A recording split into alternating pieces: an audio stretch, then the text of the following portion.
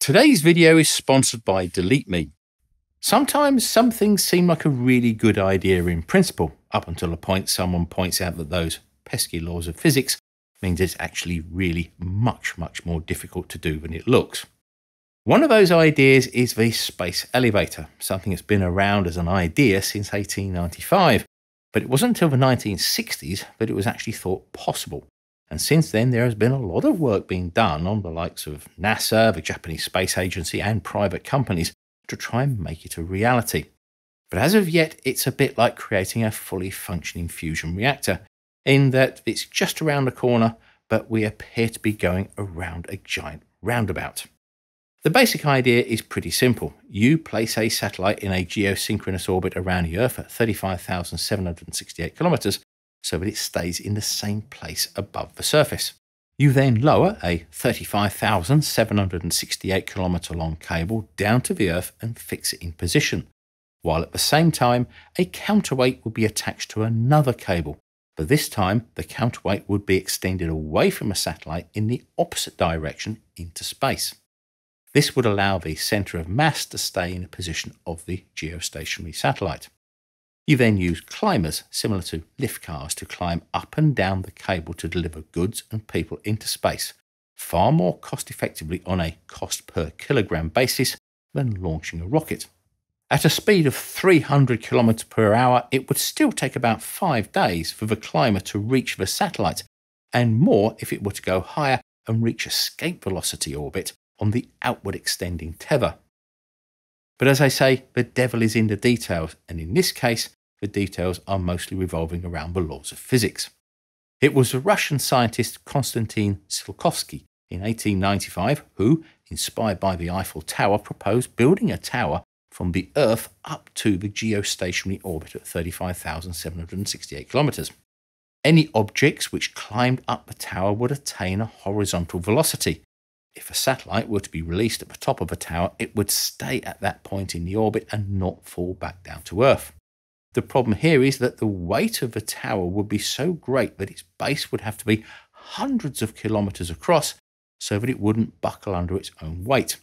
This was clearly an impractical idea. But some 60 odd years later in 1960, it was independently developed by another Russian scientist called Yuri Artsutanov and in the mid 1970s by the American Jerome Pearson. Both used the idea of a geostationary satellite, which we've just spoke about, and they tethered it to the Earth via a very long cable. Though Pearson, who didn't know about Artsutanov's work, went much further as he was an aerospace engineer for both NASA and the Air Force Research Laboratory and did much more research into every aspect of it. The idea remained obscure until 1979 when Arthur C. Clarke published his sci fi novel The Fountains of Paradise, in which engineers built a space elevator on top of a mountain on a fictional island at the equator. Now, while these ideas seem all well and good on the surface, the geostationary satellite with a cable hanging down to the Earth suffers the same problem as building the giant tower as proposed by Tsiolkovsky in that the weight of the cable hanging down from the top would be so great as it would snap before it ever made it to the Earth's surface. This is, of course, assuming it was made of something like steel, which most elevator cables are constructed from. Artsutanov realized the issue and suggested that the cable would get progressively thicker as it went higher and higher up until it reached its maximum width, where it would be attached to the satellite.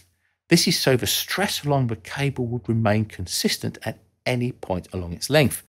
This varying thickness is called the taper.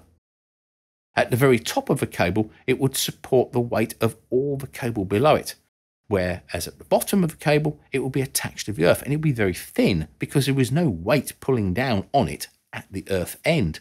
And of course, you would still need to allow for the weight of the climbers and the load being transported, plus a safety margin. This is where the laws of physics really start to mess with your ideas. Steel is a very strong material, but it's also heavy with a specific strength of 0.63 megapascals. The longest theoretical steel cable that could be hung vertically without snapping under its own weight would be about 10 to 12 kilometers. depending upon the type of steel, the construction, and its breaking strength. But when you get into lengths of hundreds or tens of thousands of kilometres, it isn't strong enough to hold up its own weight without becoming exponentially thicker at one end. I've been on the World Wide Web since 1993, almost since it went public, and over those years I've seen it grow from basic websites to the complete digital ecosystem that it's become today. Back then, I think few, if anyone, thought about having their personal details harvested from websites to be bought and sold by anonymous companies to anyone willing to pay for it. But 30 years on, and the digital revolution that many of us dreamed about has turned into a digital nightmare for some. Our dependence on all things digital has turned what was private and confidential into now just a huge revenue source for the online tech giants, and it's fueled by data brokers, companies that buy and sell data to anyone that wants it. This can include emails, names, current and past addresses, phone numbers, age, occupation, and much, much more. If you work in places like the government or the military, civil services, or you have a high profile, this data can be a security or even a personal safety risk. You can request these companies delete the data they hold on you, but with well over 750 data brokers around the world, where do you start? And this is where today's sponsor, Delete Me, comes in. Delete Me has been helping normal people like you and I get their personal information removed from data brokers since 2010 in the US, UK, and Europe. Delete Me is simple to use. You just select the plan you want, fill in the online application, and Delete Me will contact the hundreds of data brokers to remove you from their lists. You receive regular privacy reports to show how much data was found, where it was found, and where it was removed from. You can do this for yourself or for your family. And if you use the joindeleteme.com forward slash droid link in the description below, or you scan the QR code next to me today, you'll get a 20% discount. So if you value your privacy, I'd check them out now. If you look at the taper ratio for some materials, steel, while being strong, has a way greater density. So its taper ratio will be 1.6 times 10 to the power of 33. This means that to hold a cable up made out of steel vertically, which will be 35,768 kilometers long, would mean the thickness of the cable at the top will be wider than the known universe. That's a bit of a problem. Any material with a specific strength of greater than 48 megapascals will have a much lower taper ratio. If you look at single wall carbon nanotubes, it has a tensile strength 26 times that of steel and a specific strength of 100. So its taper ratio is only 1.6. Whatever material is used, it has to be not only incredibly strong but incredibly light. So far, carbon nanotubes are among the best thing we've got. These are made up of football shaped molecules, which are made up of 60 carbon atoms, which are then stretched to create a tube like structure.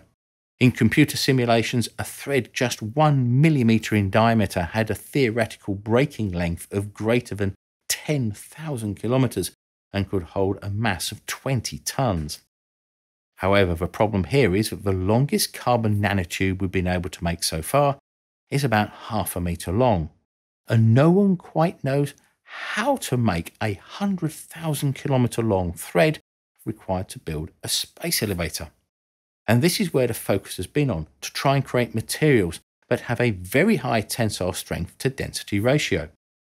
The newest so far has been graphene ribbons made of a perfect two dimensional sheet of carbon, which are expected to have breaking lengths of between 5 and 6,000 kilometers and a specific strength of 60 megapascals. However, if this were to be done on Mars, it would be much easier. The gravity on Mars is 38% that of Earth, yet it rotates at a similar speed of that of the Earth.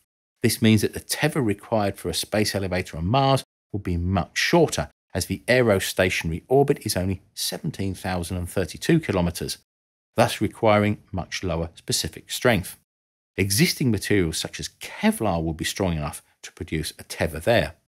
The only other problem with Mars is, apart from getting there, is that the Martian moon Phobos is in a low orbit, which intersects the equator twice a day where the elevator would be placed.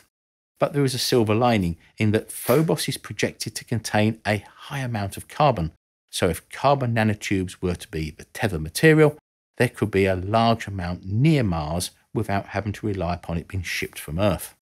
All of these ideas assume that we have a method of getting the materials required into orbit on a much greater quantity basis than now, and it might take hundreds or thousands of launches in order to build the first space elevator.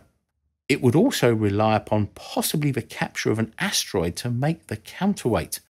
But another way would be maybe to capture some of the space junk in the nearby graveyard orbits and from the lower orbits.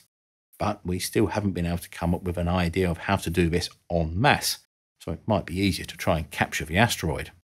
However, once the first space elevator was built, the following ones would be a lot easier because they could use the first one to carry the material up into orbit to build them. Once the space elevator has been built, and if a counterweight cable could be used as the launching platform, and if it reached out to a radius of 53,100 kilometers, then a space probe launched from there would be at escape velocity from Earth. Other proposals by Jerome Pearson were to have a 144,000 kilometer long cable. If this were so, then the velocity at the end of it would be great enough to send probes as far out as Jupiter. In the last 20 years, there has been a lot of discussions about the creation of space elevators, but at the end of the day, it will be our ability to create a tether light enough, strong enough, and long enough that will determine if this idea ever gets off the ground. Pun intended. So I hope you enjoyed the video, and a big thanks go to all of our patrons for their ongoing support.